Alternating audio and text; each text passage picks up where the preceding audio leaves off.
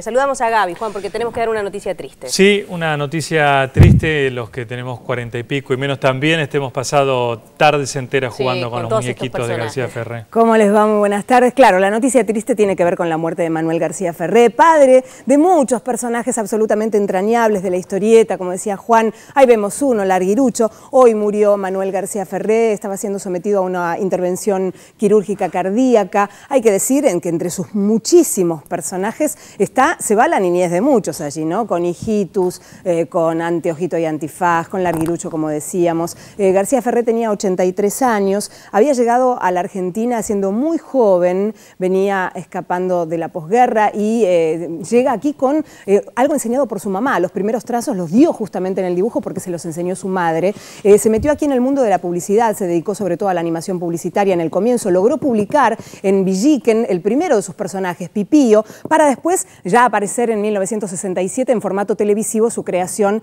de Hijitus, Hijitus, Super Hijitus, Oaki, Neurus, bueno, todos allí, ¿no? Pucho, La Bruja Cachabacha, tantas creaciones, muchas de ellas con la voz que tenemos el registro sonoro de Pelusa Suero, que le puso su talento a muchísimas de esas creaciones. Recordarán otros el libro gordo de Petetes, enciclopedia creada por García Ferré para los niños, el Boxitracio, el Dragoncito Chipi, cada uno, el Patriarca de los Pájaros, todos con una impronta, muchísimos, con una impronta muy interesante, sobre todo con, como él decía, con rescatar, eh, la, idea de rescatar los valores más esenciales del ser humano y también eh, contaba siempre García Ferrer esto de que era muy interesante rescatar a través del humor la posibilidad de decir la verdad. Manuel García Ferrer se dedicó también al cine, por supuesto recordamos Historias como Ico, el caballito valiente, eh, Manuelita la tortuga, que fue en su momento, bueno, la polémica porque había sido enviada para representarnos para el Oscar, eh, el, Corazón, las aventuras de Pantriste, recientemente el año pasado Soledad y Larguirucho con la interacción entre personajes de carne y hueso y la, animación tradicional. Había viajado en febrero a España pensando en la preproducción de su próxima película. Eh, estuvo allí un mes y medio, allí se deterioró su estado de salud y bueno, aquí falleció en esta intervención quirúrgica que le estaban realizando. Muere este hombre, un padre de parte de la historieta, lo recordamos por supuesto con muchísimo, muchísimo cariño, eh, como decíamos, con las voces, con los personajes, con personajes entrañables para la infancia de muchos de nosotros. Este no tienen edad, son eternos. Juntos hicimos los primeros pininos de nuestra infancia y saltan el recuerdo a las 5 de la tarde, la taza de café con leche y esa musiquita que todavía hoy es inconfundible.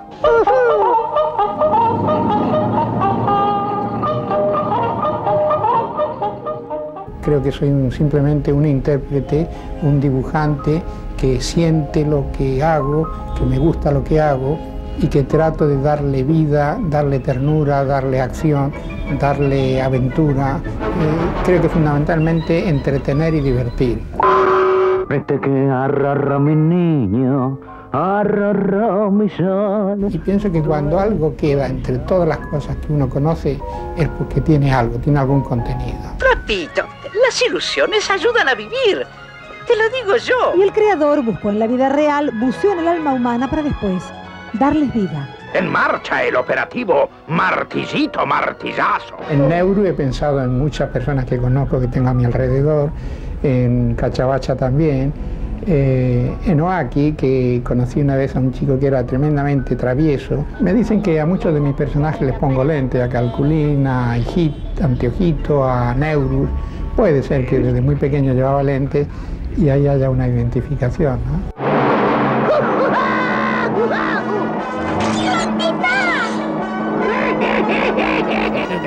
De producción se está eh, copiando y repitiendo mucho los mismos conceptos. Sí, indudablemente hay una tecnología hoy día que suplanta esa otra creación de, que yo diría que es más bien de libro, de guion o de ideas. Como digo, siempre cada historieta de hijitos para mí era una pequeña comedia humana. Adiós, abuelito. Adiós, chicos. Transmitir alegría y felicidad a los chicos, es lo que a uno lo hace y lo reconforta muchísimo. Eh, Larguirucho es uno de los personajes muy queridos y que tiene el espíritu porteño, el espíritu del criollo, en fin, de, la buena persona. Y el transmitir, ya le digo, ilusiones, transmitir ejemplo, alegría, entusiasmo, es lo que más felicidad a uno le produce. La risa y el humor ayudan a vivir, ayudan a contemplar muchísimos aspectos de la vida y es en función de eso que yo me he desarrollado con mi personaje, Anteojito, Antifaz, Hijito, Trapito, eh, Petete y Larguirucho, que es muy querido por todos.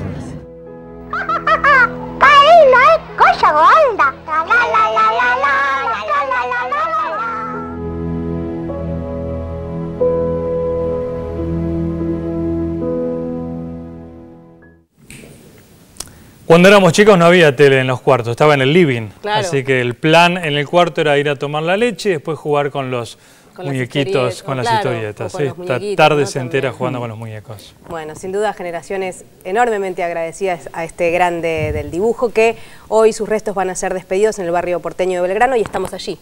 Así es, Alejandro Puertas, contanos. Hola Juan, hola Agustina, la escuchaba a ustedes por supuesto y también a Gabriel haciendo una descripción acerca de los personajes mm, que ha generado este genio de la historieta. Es imposible no identificarse, ¿no? porque ha transcurrido y ha recorrido buena parte de la columna vertebral de varias generaciones de argentinos, de nuestros mediodías, de nuestro acercamiento con, la ilusión, con esos personajes que identificaban al, al, ser nacional, ¿no? por supuesto, que nos eh, identificaban como argentinos, ese acercamiento quizás también con los deberes divertidos, ¿no? Con, revistas infantiles como lo fue Antiojito, bueno, en definitiva, y ya de grandes acompañando a nuestros hijos en producciones mucho más modernas. Ha sido un padre eh, y por supuesto eh, para todos aquellos que lo hemos vivido hoy es una jornada de, despedida. Claro, estamos en este lugar, este lugar es una sala velatoria eh, bastante conocida porque varias personas del ambiente artístico han sido despedidas justamente en este lugar O'Higgins al 2842. Hace 10 minutos debería haber comenzado el velatorio de Manuel García Ferrer. Eh, y por supuesto se espera la presencia de mucha gente que va a querer venir a despedirlo, a darle ese último adiós, aunque por supuesto, como se suele decir en este tipo de ocasiones, y no está mal decirlo, eh, él va a quedar con su obra, va a quedar con todo lo que nos ha regalado en sonrisas, en nostalgia, pero la realidad es que sus restos son velados aquí. Hace aproximadamente tres días fue a hacerse un chequeo, hospital alemán, de rutina, eh, ahí le detectaron algunas anomalías, quedó internado, se decidió realizar una intervención quirúrgica eh, a su corazón, eh, quedó en un estado realmente complejo, muy delicado de salud y en la madrugada de hoy ha fallecido. Así de simple se puede contar esta pérdida. Todo lo demás es complejo porque su vida ha sido compleja, llena de matices, por supuesto de colores, eh, los que nos ha regalado y que por supuesto estaremos siguiendo a lo largo de esta edición para contarles qué está pasando justamente aquí. Gracias, Ale. Volvemos con vos en cualquier momento.